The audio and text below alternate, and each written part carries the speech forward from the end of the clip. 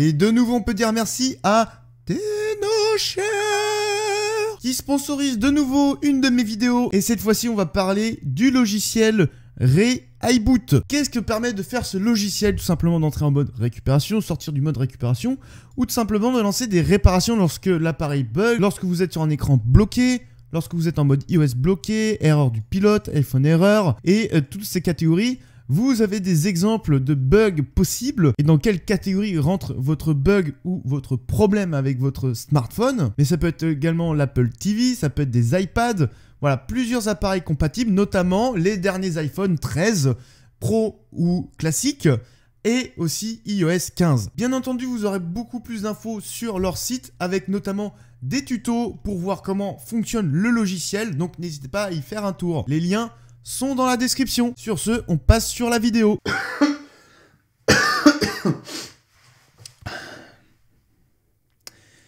Toujours faire ces vidéos quand on est malade, c'est un principe de base. Est-ce que vous, vous allez bien? Non, répondez pas, je m'en fous en fait. Alors, est-ce que c'est le bon moment pour parler de l'iPhone 12 Pro Max? Non. Les iPhone 13 Pro, euh, Pro Max les iPhone 13 étant sortis, Ouais, désolé, j'ai pas les thunes pour euh, les mettre là-dedans. Fais chier, putain, je tellement les tester. Mais bon, tant qu'à faire, j'ai réussi à m'approprier cet iPhone 12 Pro Max parce que beaucoup de points m'intéressaient. La photo avec le format RAW de chez Apple, les vidéos en 60 fps en HDR, euh, l'autonomie qui avait l'air d'être incroyable, bien entendu au détriment de la taille de l'écran et surtout de la taille de la bestiole, quoi. Dans cette vidéo, je vais vous dire ce que j'ai apprécié sur ce téléphone, ce que je n'ai pas apprécié, et si oui ou non, bah je le recommande, malgré que les iPhone 13 Pro et Pro Max soient sortis ou non. Pour vous donner une idée de mon quotidien avec ce téléphone, c'est tout simple, il me sert de 7h du matin jusqu'à 22h, 23h. Avec, j'envoie mes messages, j'appelle, j'envoie des mails, je vais sur les réseaux sociaux, je vais sur YouTube, je joue avec, je prends des photos et je fais des vidéos. Autant vous dire que je fais pas mal de choses. Et ça m'est arrivé aussi deux ou trois fois de faire quelques montages vidéo. Mais c'était assez rare quand même. Je vous rappelle également mes critères pour choisir un smartphone. Alors c'est personnel. Au niveau des critères principaux, moi je vous souhaite un téléphone très puissant qui fait de belles vidéos avec une bonne batterie et le plus compact possible. Ah, et qui soit aussi bon ergonomiquement, que ce soit sur la prise en main ou via le logiciel, du moins le système d'exploitation. Sur les critères secondaires, j'ai la photo, reconnaissance faciale 3D, un bel écran et un beau design. Alors ça fait trois mois que j'utilise cet iPhone 12 Pro Max et qu'est-ce qui m'a plu dessus? Déjà, en premier temps, je dirais tout simplement la puissance avec ce téléphone je peux faire absolument tout. Monter même des vidéos 4K en 30 ou 60 images par seconde, même en HDR, via ce téléphone et sans trop de difficultés. Et toutes les autres tâches du quotidien se font ultra facilement aussi. Hein. Tout ce qui est euh, visionnage de sites internet, vidéos YouTube, euh, les réseaux sociaux, évidemment, c'est euh, une puissance dont il n'a pas besoin. Ou le fait de pouvoir prendre des vidéos en HDR à 4K 60 fps ou des photos avec le mode RAW de chez Apple, et le fait de pouvoir modifier tout ça avec une aisance vraiment très appréciable, et le fait que cette puissance bah, sera toujours intéressante après 2, 3, voire 4 années, en fait quelque chose qui est vraiment très intéressant. Ce qui m'a plu aussi, c'est la qualité des vidéos, euh, déjà, bah, premièrement, c'est l'iPhone 12 Pro Max qui me filme là actuellement mais malgré ça, il prend de très belles vidéos et également de très belles photos. En plus de ça, que ce soit sur la vidéo ou la photo, je suis très peu limité, que ce soit sur l'ultra grand angle, le grand angle, ou le téléobjectif, que ce soit en vidéo pour faire du 4K 60 fps en HDR, ou alors du mode nuit, du mode RAW Apple, même sur la caméra avant, eh bien je peux tout faire, je suis très peu limité, il y a très rarement des cas où je me suis dit, putain merde, je peux pas le faire sur ce capteur alors que je peux le faire sur tel autre capteur. Et ça, c'est vraiment génial. En termes de qualité pure, au niveau de la vidéo, bah, c'est juste top. Euh, j'ai rien à dire là-dessus. Il prend vraiment de très très belles vidéos. J'ai rarement vu des smartphones qui prennent d'aussi belles vidéos. Par contre, pour la photo, certes, c'est pas le meilleur. D'autres téléphones font de meilleures photos, je pense notamment au Xiaomi Mi 11 Ultra qui a l'air d'être excellent, les Huawei qui sont excellents également, le Samsung S21 Ultra qui a l'air excellent aussi, mais avec ce format RAW de chez Apple, avec le fait que bah, la retouche photo permet beaucoup plus de choses sans perte de qualité,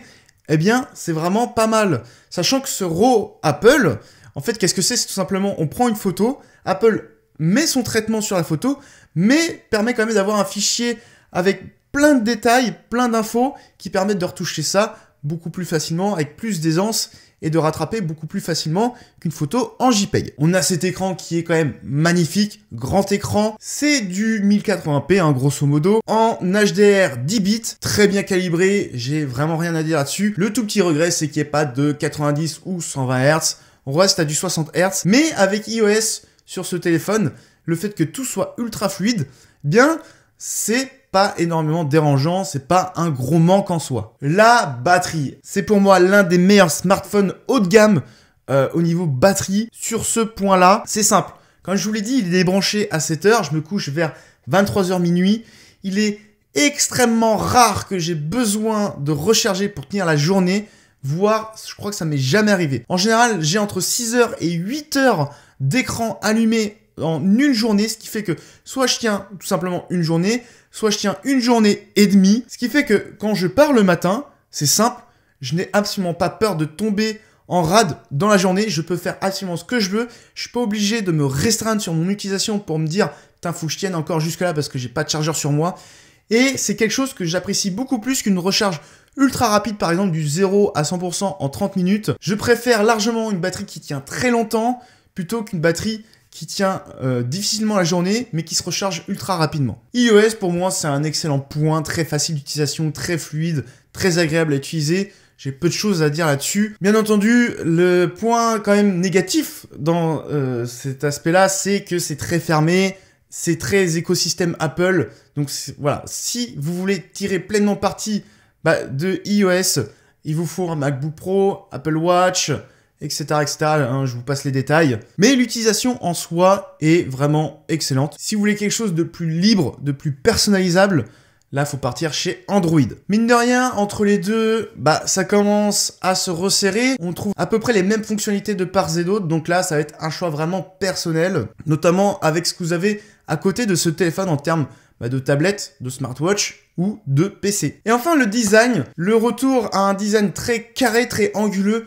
Personnellement, j'adore, je trouve ça très joli. En plus de ça, la couleur bleue, moi j'adore, avec ce dos mat qui prend très peu les traces de toit. Là aussi, j'adore. Je suis un petit peu moins fan des côtés brillants. J'aurais préféré des contours qui soient plutôt mat que brillants, mais bon, euh, c'est pas non plus ultra dérangeant, c'est un petit style quand même. En tout cas, comme chaque année chez Apple, ce sont des téléphones qui sont très agréables à regarder. Alors, on va passer sur ce qui m'a en fait me rend plutôt neutre. Et c'est surtout l'ergonomie où bah, on a une taille de téléphone qui est beaucoup plus grande que l'iPhone 12 mini. Je rappelle avant j'avais l'iPhone 12 mini, c'était 5,4 pouces, là on passe sur du 6,5 pouces il me semble. Et il n'y a pas à dire, c'est une vraie brique. À prendre en main, c'est pas très agréable, j'ai des petites mains, ce qui fait que bah, à le tenir, c'est assez compliqué à une main, à l'utiliser à une main, pareil c'est compliqué. Je préfère le prendre à deux mains, l'utiliser à deux mains. Mais bon, c'est un peu chiant quand même. J'ai beaucoup plus peur de le faire tomber qu'un iPhone 12 mini. Certes, on a ce côté plus grand de l'écran qui permet d'afficher plus d'infos, qui permet d'afficher les choses en plus grand. Donc certes, c'est un petit peu plus agréable. C'est pas non plus euh, quelque chose qui est déterminant chez moi. Hein. L'iPhone 12 mini, j'avais aucun problème à regarder des contenus sur cette taille d'écran. Ça me posait pas trop de soucis qu'il y ait un petit peu moins d'infos. J'étais pas moins immergé dans les séries que je regardais les vidéos YouTube ou les jeux. Donc voilà, il y a du moins bon comme du positif. Et sur ce qui m'a déplu, dans un premier temps, je dirais bah la taille du téléphone hein, et surtout le poids qui va avec. Le téléphone fait plus de 200 grammes, hein, je crois qu'il fait à peu près 226 grammes si ma mémoire est bonne, ce qui fait que c'est un téléphone lourd et il se ressent vraiment en main et il se ressent même dans la poche. Donc c'est pas ce qu'il y a de plus agréable et ça c'est vraiment dommage. Autre point qui me déplaît aussi, c'est encore ce port Lightning qui est présent. S'il vous plaît, Apple, passez sur de l'USB-C. Non seulement il y a des transferts de fichiers qui sont beaucoup plus rapides et c'est beaucoup plus universel. S'il vous plaît, arrêtez avec ce port Lightning, c'est vraiment pénible. Allez, je mettrai quand même un petit point négatif, bah, le fait qu'on n'ait que du 60 Hz, malgré, comme je l'ai dit, euh, bah, que ce n'est pas quelque chose qui me manque, ça reste quand même appréciable. Et surtout, un téléphone à ce prix-là, l'iPhone 12 Pro Max, alors peut-être maintenant qu'il a baissé de prix, mais il était vendu de base à plus de 1200 euros ce serait quand même appréciable d'avoir un écran qui va au-delà du 60 Hz. Mais globalement, ce téléphone m'a énormément plu. Il me permet de faire pas mal de choses et il a carrément remplacé ma caméra principale. J'avais avant un Panasonic GH4R et maintenant je filme avec ceci. Dites-moi dans les commentaires ce que vous pensez au niveau de la qualité des vidéos. Pareil, la vidéo sur bah, les micros que j'ai tourné très récemment, j'ai filmé également avec ce téléphone, ce qui fait que je me prends moins la tête euh, au niveau des cartes SD et tout, donc je filme directement avec ce téléphone, j'envoie par AirPlay sur mon MacBook et bah je monte directement la vidéo, c'est ultra rapide, il n'y a aucun souci là-dessus. Si jamais vous êtes une personne qui fait de la photo et de la vidéo, c'est vraiment un appareil qui est très intéressant je trouve, ce qui permet de sortir quand même de très belles photos, de très belles vidéos et euh, dans un petit format par rapport à un appareil photo. Le fait qu'on ait trois objectifs, ça c'est vraiment cool un téléobjectif, un grand angle et un ultra grand angle qui sont de très bonne qualité et qui permet vraiment à ce téléphone d'être vraiment complet, même si il manquerait un petit téléobjectif x5 ou x10, parce que 2,5 c'est quand même sympa, mais voilà, c'est un, un x5 ou un x10 en plus, ça aurait été bien, et je parle bien d'un téléobjectif optique et pas numérique, parce que numérique on peut aller à du x10, mais la qualité n'est pas au rendez-vous, bien entendu. J'utilise aussi de plus en plus, euh, du coup, depuis que je l'ai, pour faire des vidéos sur des réseaux sociaux, notamment TikTok, où je commence à faire des vidéos où je vais déballer des produits sur ce réseau social. Donc n'hésitez pas à me suivre sur TikTok et sur Instagram, parce qu'ils seront aussi sur Instagram. Ce que je ne faisais pas avant, donc euh, cet iPhone change un petit peu mes habitudes tellement qu'il est sympa à utiliser sur cet aspect-là. Et enfin, est-ce que cet iPhone est viable fin 2021 Eh bien, largement. Il fait toujours de très belles photos, il fait de très belles vidéos, il marche très bien, la puissance, vous en avez encore pour des années. Les mises à jour chez Apple durent au minimum 5 ans, donc pareil, il sera mis à jour sur des années. Ça permet donc d'économiser un peu de sous par rapport aux iPhone 13 Pro et 13 Pro Max qui viennent de sortir, vous permettant d'acheter peut-être des accessoires à côté et d'avoir un magnifique appareil pour travailler, que ce soit pour l'envoi de mails, pour la prise de photos ou de vidéos avec comme appareil secondaire par exemple, qui peut dépanner très largement. Travailler aussi sur du montage vidéo avec iMovie qui se fait assez facilement. Vous serez large aussi pour jouer à n'importe quel jeu si vous êtes un gros joueur. En termes de batterie, il tient extrêmement bien et la batterie c'est très peu dégradé. Et bien entendu, pour tout ce qui est consommation de vidéos YouTube, euh, réseaux sociaux, il fait largement l'affaire comme la grosse majorité des téléphones. Voilà, j'espère que cette vidéo sur mon avis pour l'iPhone 12 Pro Max vous aura plu, n'hésitez pas à dire dans les commentaires. Et sur ce, moi je vous dis euh, à une prochaine. Il est temps que je me remette à la muscu. Oh, putain c'est dur, putain c'est lourd. Putain la vache